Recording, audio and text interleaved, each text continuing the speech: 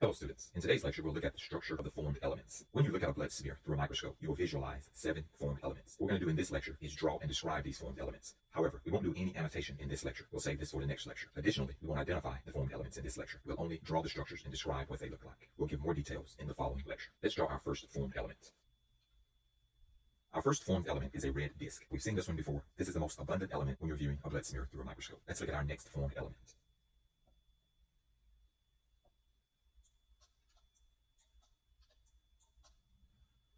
This next formed element that I've shown here is a cell fragment. Again, we've named this one before, but we're not going to name any of them here. Let's move to our next formed element. As you can see, this next formed element is much larger than our red disk.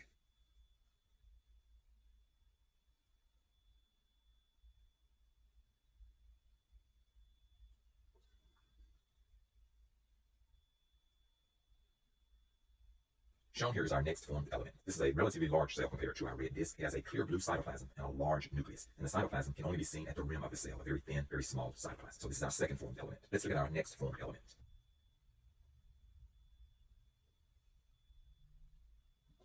So shown here is our next formed element. This is the largest of the formed elements. It's much larger than our red disk. Let's look at our next formed element, our fifth formed element.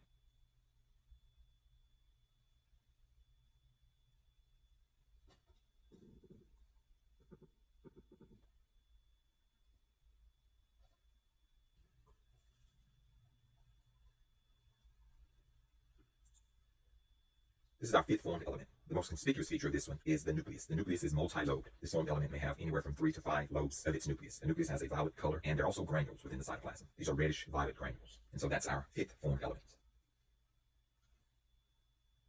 Let's draw our sixth formed element. It's roughly the same size as the previous one.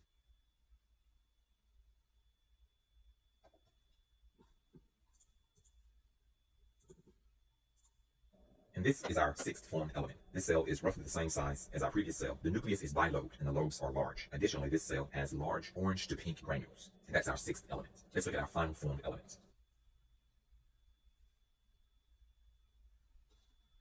Before I continue with this formed element, I must mention that it does have a nucleus. It's a little smaller than the previous two cells. It has a nucleus, but it also has granules. Once I draw the granules, the nucleus will become obscure and hard to see. That's why I'm mentioning it now. Let's represent those granules here.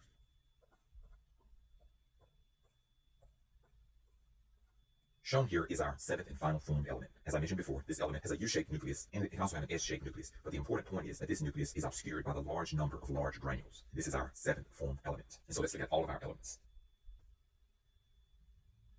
So here we've represented the seven formed elements that you will see if you look at a blood smear under the microscope. Let's go over those again. The first one here is a red disc. There are millions of these, these red discs. This is the most abundant formed element. The next one here is the cell fragment. We've seen this one already. The third one here is a large cell that has a very thin rim of a cytoplasm and a huge ovoid nucleus. The fourth cell is a little larger. The nucleus is large, can be U-shaped or S-shaped, and it has a larger cytoplasm. These cells have no granules in them. These next three cells all have granules. The first one has a multi-lobe nucleus with small reddish granules. This nucleus can have three to five lobes. Our sixth formed element, the nucleus has two lobes with orange-colored granules. And our final formed element is a little smaller than the other two. Than the previous two, it has granules, but it has so many large granules that they obscure the U to S-shaped nucleus. And these are all of our formed elements that we'll see under a microscope. In the next lecture, we will annotate this slide. So that concludes this lecture showing the structure of the formed elements. Hope you learned a lot.